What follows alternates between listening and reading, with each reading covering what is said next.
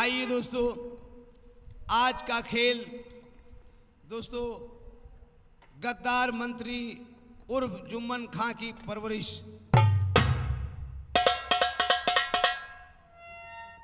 और डाकू कुंदन सिंह, आइए दोस्तों, दरबार लगा है और फिर क्या बातचीत होती है? महाराज बैठे हुए हैं और क्या बातचीत होती है?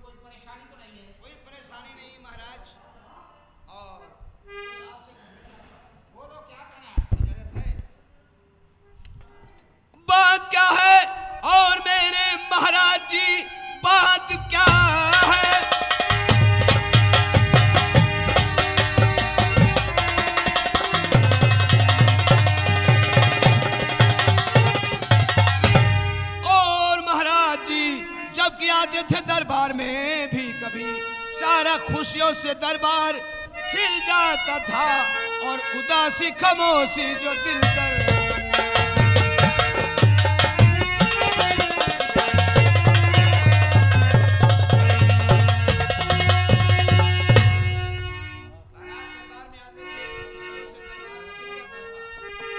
द्वारपाल, तुम मुझसे पूछ रहे हो, उदासी का कारण। तुम तो जानते हो कि हिमा हमारी इतनी अवस्था आ गई है। और ईश्वर ने, न जाने मुझसे क्या भूल हो गई है, जो आज तक ये दरबार सोना है। और हमने प्रण किया है कि जब तक इस दरबार में कोई संतान नहीं पैदा होगी, तब तक हमने एक मंदिर बनवाया था। उसमें ताला डलवा दिया है कि पूजा नहीं होगा।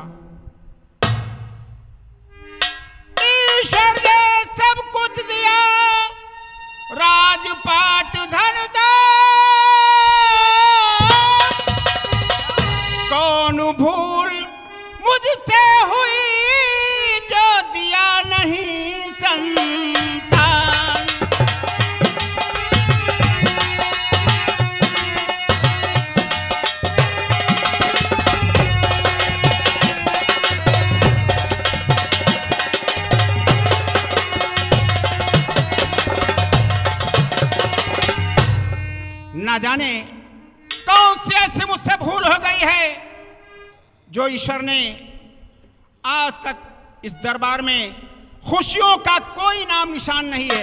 अरे महाराज ये तो सब ईश्वर भगवान की देनी ये तो मैं बरसों से देखता चला आ रहा हूँ। लोग यही कहते हैं कि ईश्वर की कृपा होगी तो ये महल खुशियों से भर जाएगा। आखिर कब? मेरे ना रहने के बाद। अरे महाराज कहने की कोई बात नहीं। हमारे गाँव में एक लड़की एक लड़की जिसकी उम्र थी नब्बे साल। लड़की की उम्र नब्बे साल हाँ। फिर क्या हुआ फिर आखिरी में भगवान जो है टपका दीन मामला। लड़का पैदा होगा उम्र उसकी नब्बे साल उस लड़की की। हाँ लेकिन बूढ़ा है। भगवान अब वही ले ले घूमे। बताइए महाराज हुक्म करिए। महाराज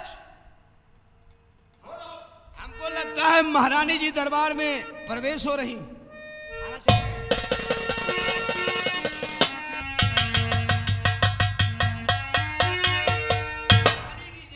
आयुष्मान भव द्वारपाल मेरे महाराज, मंदिरों और मस्जिदों में ताला डरवा दिया है। कोई हिंदू भाई मंदिर में पूजा नहीं कर सकता है। कोई मुसलमान भाईजान नमाज़ नहीं पढ़ सकता है। उन्होंने कहा है कि कई साल बीत गए, इतनी उम्र आ गई, कोई संतान मेरे नहीं पैदा हुई। रातों दिन चिंतित रहते हैं मेरे स्वामी, क्या करूँ? उन्हें कैसे समझाऊं? कहते हैं, सब्र का फल मीठा होता है। सुख दुख सुख दुख ज़िंदगी के दो पहलू होते हैं। कभी पहले सुख है तो बाद में दुख, या पहले दुख तो बाद में सुख। है ना? आज मैं बहुत खुश हूँ द्वारपाल। चलूँगी स्वामी से बताऊँगी कि मेरे पास कौन ऐसी दिल दिल में खुशी है अवश्य बताऊँगी है ना? जी गुस्ताखी माफ़ हो तो कुछ कही। बताओ। हमरे ख्याल नहीं लड़का बच्चा भे और ना हो कोई उम्मीद है तो हमका गोद न ले लियो। अरे आप इतने उम्रदार आपके बाल बच्चे हैं कहाँ आपके और नहीं अभी है। हमरे अब्बा के ब्याह नहीं हुआ बताओ तो वैसा नहीं वैसा। अब्बा का ब्याह नहीं हुआ तुम्हारे पिताजी का विवाह नहीं हुआ है। एक तो दिन आप कैसे पैदा हो एक दिन गोद लेके देखो। देखो मैं माता जगत जननी जगदम्बे अम्बे मैया की पूजा करती चली आ रही हूँ। उनकी भक्तन हूँ उन्हीं की पूजा करती हूँ चलती हूँ। अपने स्वामी को एक खुशखबरी अवश्य बताऊँगी। द्वारे तुम्हारे बड़ी भीड़ हो जगदम्बा।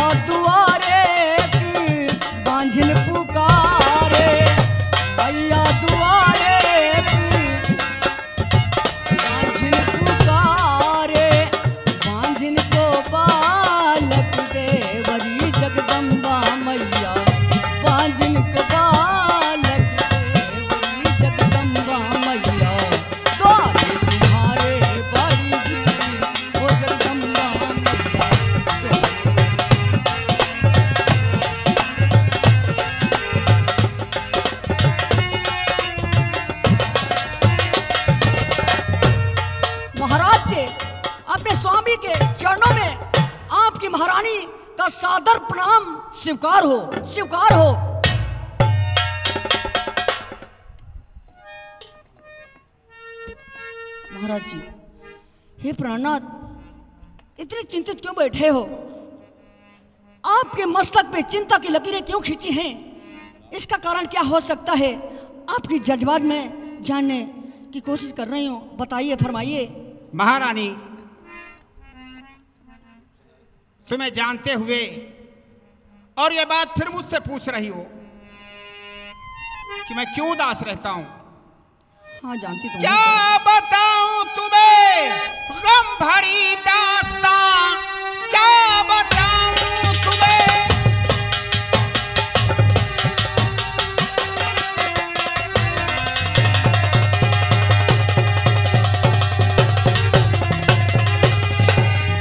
गम भरी दास्तां बीतवा दी गई है हमारी उम्र। एक बालक का नाम है पिता बन सका। बस यही फ़िक्र रहती है शामो शहर।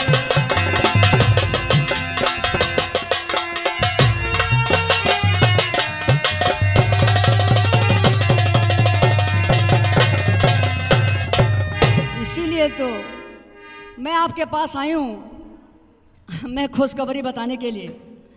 आई हूँ मैं इसलिए सुनिए महाराज तुम्हें बताना तुम्हें बताना चाहती दिल की बातें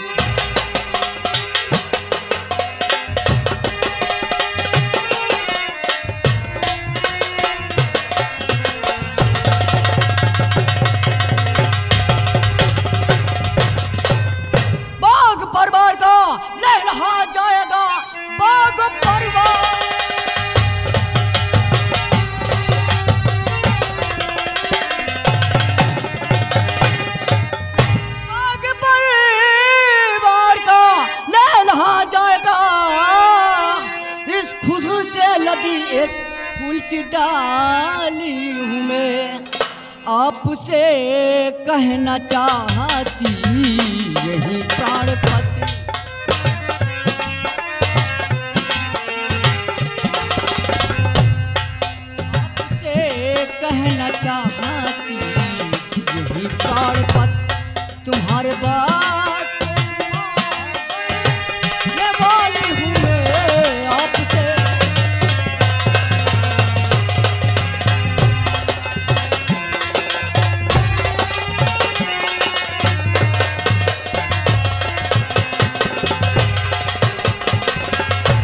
आप चिंतित हो मत होइए कहीं ऐसा तो नहीं है। तुम मुझे खुश करने के लिए ऐसे बच्चन मुझसे बोल रही हो। मेरा पाँव भारी है। ये पाँव काटने के लिए कह रहा है मेरा। देखो स्वामी समझाओ इसे। तुम्हारा पुराना मुलाजिम है। उल्टी सीधी बातें किया करता है।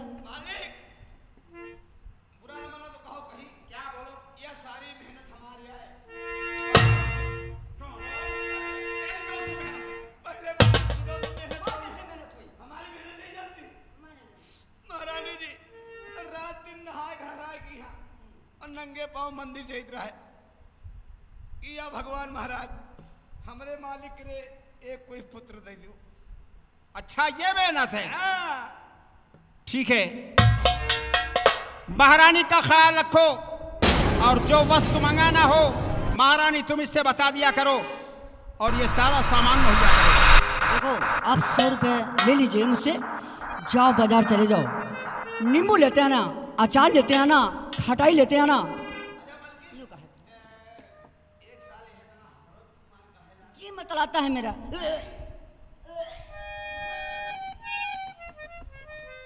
जल्दी जाओ ना। क्या? क्या? आपका जी क- मतलब हम्म। हो खाई हम हूँ माँ चटपटी चीज़ हमार खाए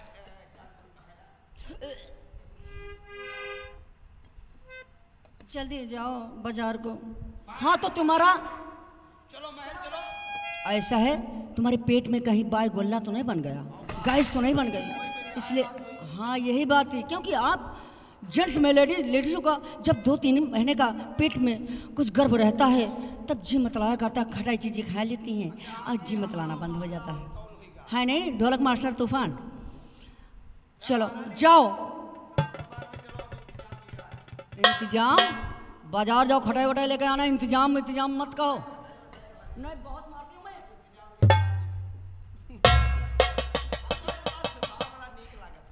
अरे स्वभाव अच्छा नहीं हुआ इस तो। इसीलिए तो। कादे के शिव का मनाइब हो शिव मानाती नाही। कादे के शिव का मनाइब हो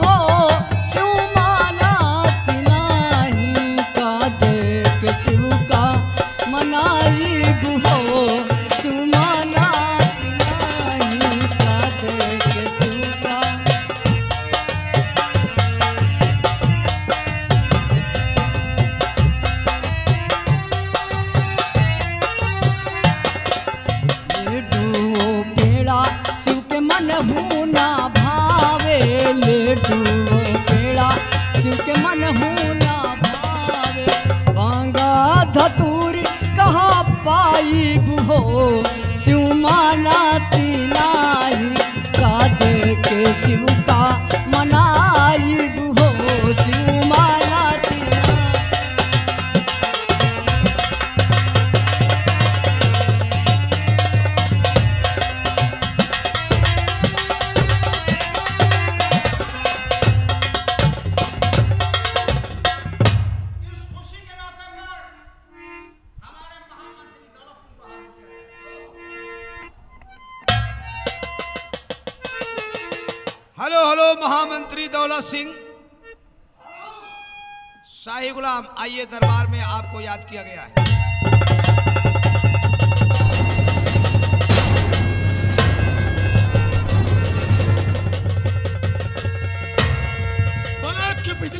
के जो सिला समंदर हूँ मैं दस लूँगा जहरीला ना गज कर हमको मिटा सकेगा जमाने में दम नहीं जमाना हमसे है जमाने से।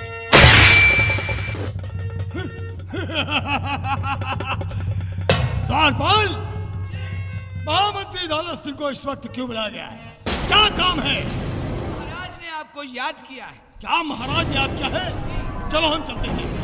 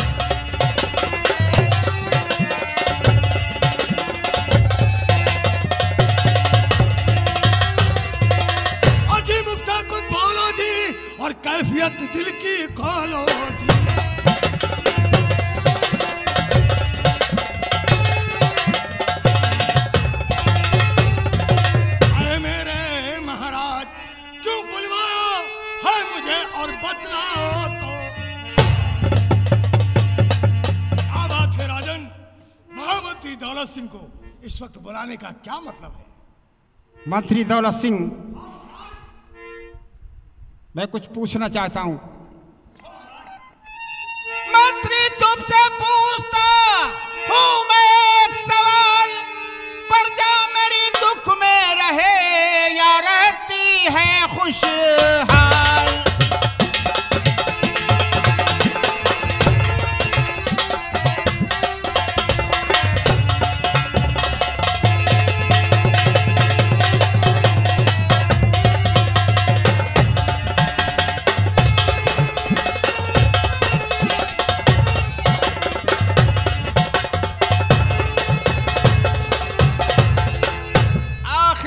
प्रजा कैसी है?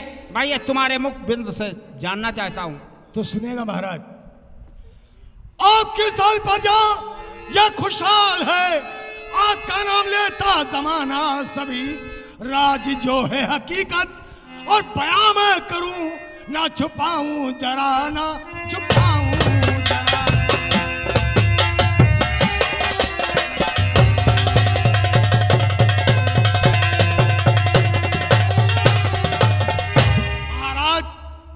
मैं जिस निकलता हूँ।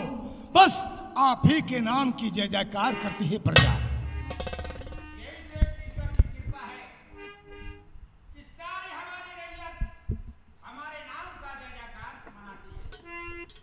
महाराज, वो सामने बांधी आना चाहती है। आखिर क्या बात है?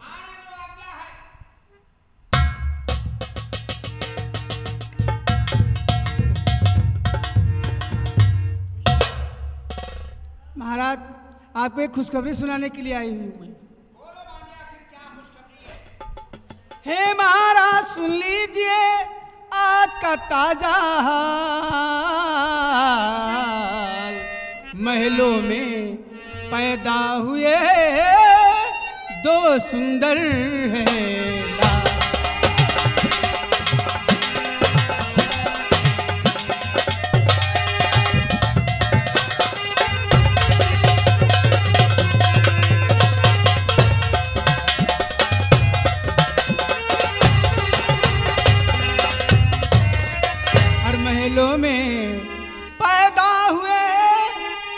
दो सुंदर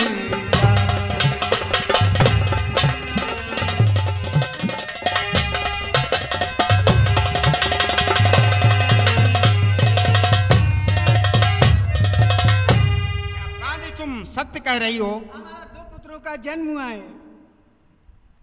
ये तो ईश्वर की कृपा है। आज मैं बहुत प्रसन्न हूँ बहुत खुश हूँ। खुशखबरी सुनकर तेरा और हुआ कलेजा चार मेरी सब इमदाद को पूर्ण करे करे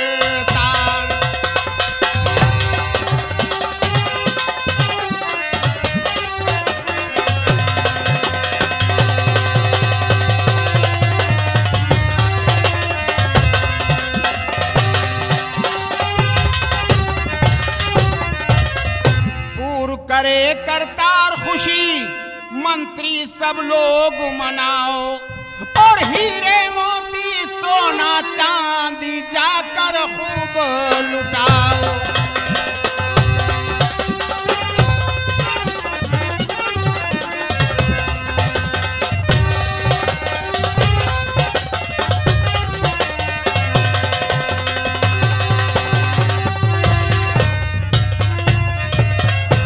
नगर में जो दुखिया है जा उनको धनराशि गहाओ नाच गाने के साथ खुशी में शहनाई बजवाओ।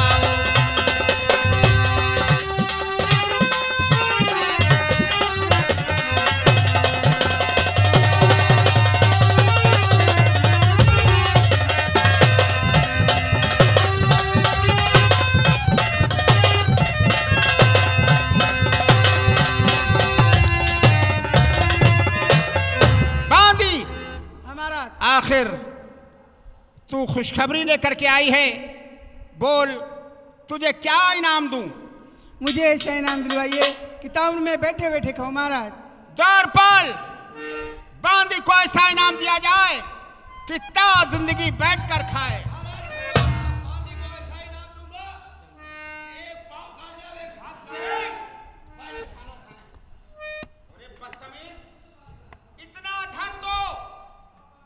कहीं जाने की ज़रूरत ना पड़ा सारे हाथ पैर काट कर अपन बना दो। अच्छा हमारे समझ में है आ रहा है कि का ऐसा इनाम दे दिए एक हाथ एक पैर काट ली बैठे बैठे खा जी और दीजो दीजो राजा करी को कंगनी बहाना।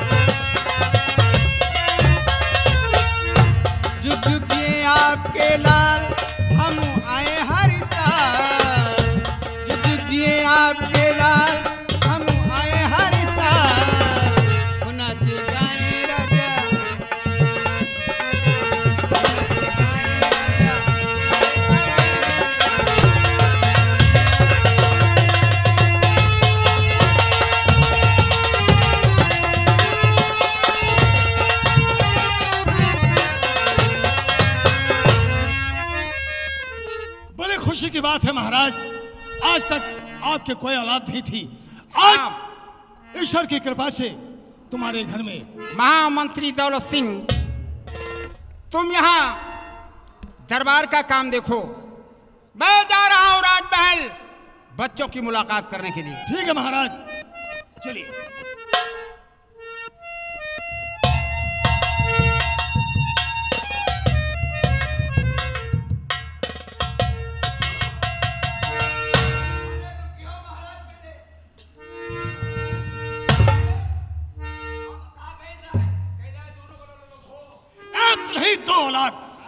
मैंने सोचा था कि महाराज के मरने के बाद यहाँ का राजा मैं बनूँगा। लेकिन सारी हसरत हमारे दिल में दब कर रह गई। मैं राजा नहीं बन सका। आज महाराज की एक नहीं दो दो औलादों का जन्म हुआ है। खैर कोई बात नहीं। ये समझो दो औलादे नहीं महाराज की बल्कि हमारे दो काल पैदा हुए हैं।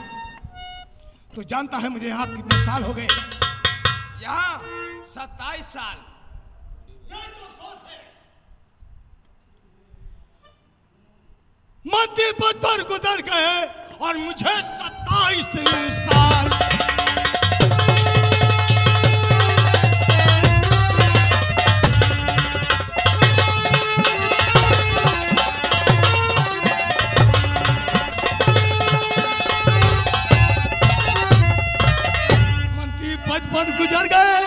मुझे सत्ताईस साल मैं लाख रहा और शाही महल फिर भी रहा कंगा